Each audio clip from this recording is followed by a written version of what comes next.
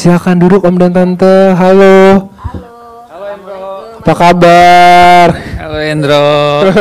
Iya iya iya. Heeh. Ya, karena yang udah ditunggu-tunggu apalagi ini anak pertama gitu ya. Nah, mungkin dari Om Adi kita bisa langsung aja dan Tante Memes mungkin ada yang pengen disampaikan ke teman-teman media yang ada di rumah. Ya pertama puji syukur kehadirat Allah Subhanahu Wa Taala. Akhirnya eh, pernikahan yang sudah tertunda beberapa kali sejak berapa tahun yang lalu? sejak November tahun lalu. eh, terus ditunda, ditunda karena apalagi ada pandemi lagi.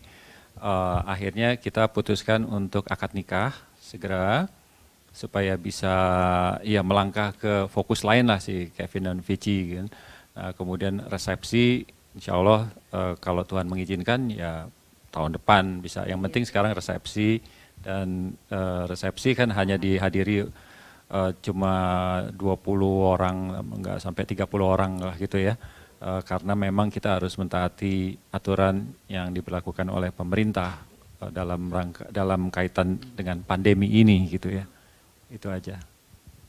Mungkin eh, Om Tante pengen ada mention thank you buat siapa aja. Em, pastinya saya berterima kasih sekali pada media partner ya, kita yang telah membantu sampai terselenggara ini dengan lancar, yaitu Bright Story itu ya. Terima kasih Bright Story, Sama-sama uh, Tante. wedding planner and organizer uh, Hilda by Bright Story. Ya, Terima kasih banget. Terus dekorasi itu ada Lotus Design ya. Terima kasih Lotus Design. Uh, busana, waduh ini Misan Kopak Misan Kopaka Bandung terima kasih Komisan dan tim.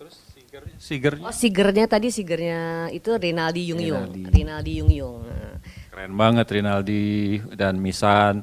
Uh, dan pastinya venue ini Intercontinental Intercontinental Hotel ini uh, berbaik sekali uh, karena seperti Kevin sampaikan tadi dengan adanya uh, masalah ini itu akhirnya harus diundur-undur tapi Intercontinental Intercontinental Hotel tuh bisa mengakomodasi dengan penuh pengertian. Kita terima kasih banget uh, dan kita senang sekali bisa diselenggarakan di sini. Eh, oh ya, ke foto dan video Moire, Moire foto video. Terima kasih. Terus juga itu apa media live ya, LOL atau LOL Media, LOL Live Media. Terima kasih sehingga kita bisa berkomunikasi sekarang. Nah ini saya juga mau tambahin nih ada yang dandanan saya nih dari atas bawah nih. Ini kukunya dari Linea Art Boutique ya. Terus kemudian make upnya dari Molita, rambutnya dari Anda Arusa. Terus bajunya dari Misan Kopaka. Pokoknya kita hari ini semua disupport banget sama tim yang sangat luar biasa. Terima kasih banyak sehingga bisa terselenggara dengan lancar tadi. Alhamdulillah. Alhamdulillah ya Om Tante ya. Iya. Nah mungkin dari Om Tante gimana nih perasaannya eh, kan ini anak pertama nih kan gimana nih perasaannya eh, melaku eh, setelah sah nih akhirnya Kevin dan Vici.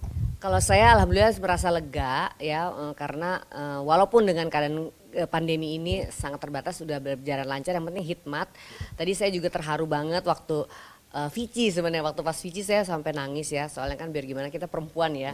Kayak saya bilang eh, ya Vici eh, titip Kevin ya karena Kevin itu kan anak pertama jadi kayaknya waktu sama Kevin sih saya dia malah ketawa-ketawa atau pas sungguman lucu aja soalnya ya. tapi kalau Vici saya merasa terharu banget gitu karena biar gimana kan saya seperti melepaskan tanggung jawab saya sebagai ibu ke ke Vici mudah-mudahan Vici juga sama Kevin bisa jadi orang tua eh, secepatnya gitu. Kita Amin, harapkan kita amin Pak, ya.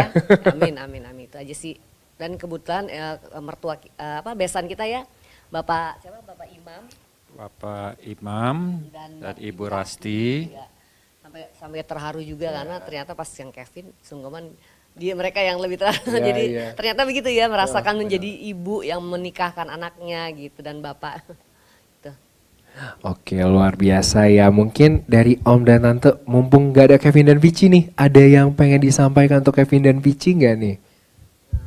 Ya, saya eh, suka eh, dan respect pada Vici karena Vici itu eh, mau membuat komitmen pacaran dengan Kevin bukan saat Kevin sedang di atas. Kevin pernah mengalami dulu uh, di atas dan tapi juga dia berbisnis mengalami uh, kesulitan yang uh, lumayan uh, dramatik gitu ya. Nah, Vici masuk pada saat Kevin sedang susah.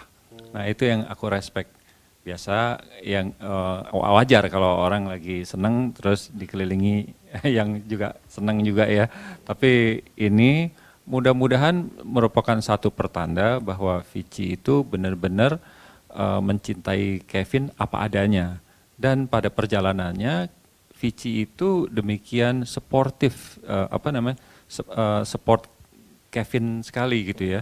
Uh, pada saat Kevin down, um, dia yang orang yang paling dekat yang selalu um, menyemangati Kevin sedemikian rupa sehingga Kevin jadi optimis lagi dan alhamdulillah Kevin lama-lama bangkit lagi sekarang sudah bisa uh, ketawa lagi meskipun perjuangan masih jauh ya perjalanan masih jauh saya berharap mereka bisa kompak untuk uh, mengarungi perjalanan yang up and down Ya kalau dari saya semoga mereka berdua seperti yang tadi Pak Ustadz bilang sampaikan juga sakinah mawadah warohmah dan itu benar-benar dijalankan dan mereka tidak akan melupakan uh, keluarganya masing-masing orang tuanya gitu. Itu aja sih. Bismillah. Amin ya Om Tante ya. Amin, Ini amin, amin, ya yang dinamakan suka dan duka bersama ya. Iya.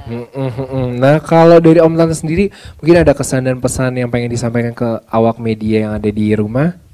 Jadi um, kita sama-sama tahu bahwa sekarang ini kita sedang menghadapi masa sulit dengan adanya pandemi. Ini membuat semua seluruh dunia sulit, bukan hanya kita, uh, termasuk dalam penyelenggaraan acara seperti ini.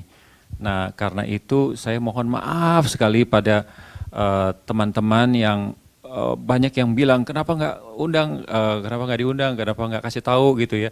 Kita nggak mau ngerepotin banyak orang karena um, ya itu karena pembatasan yang ada pun uh, harus memenuhi ada rapid test, ada tadi tadi waktu kita akad nikah semuanya harus swab, jadi kita melakukan swab juga. Jadi kita mau mengundang uh, takut merepotkan orang banyak, akhirnya kakak beradik aja.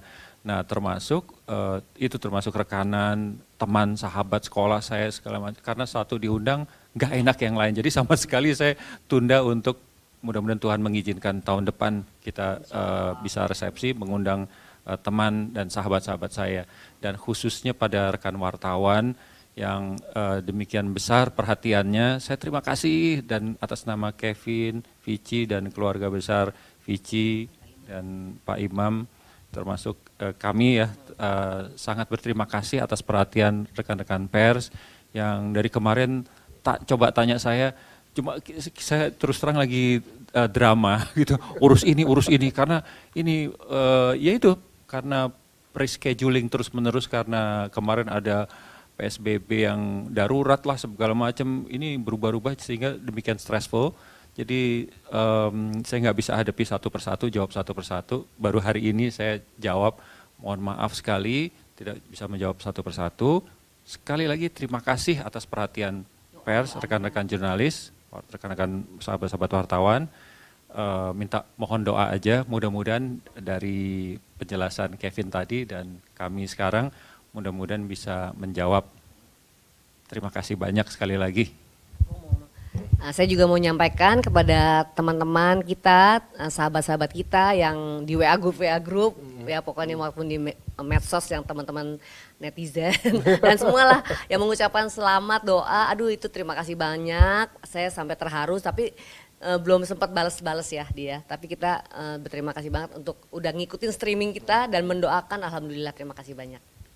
Dan khususnya saya berterima kasih juga pada uh, Bapak Presiden Joko Widodo yang sedianya uh, hadir sebagai saksi, sudah persiapan, sudah matang kemarin, uh, tetapi mendadak ada tugas negara yang pasti lebih penting di Istana Bogor. Jadi beliau harus rapat mendadak di Istana Bogor. Uh, ya kita uh, sedih, tapi kalau dipikir dibanding tugas negara dan lain-lainnya yang beliau hadapi harus selesaikan ini masalah ini besar buat kami, tapi mungkin buat skop beliau ada yang jauh lebih besar dan lebih penting.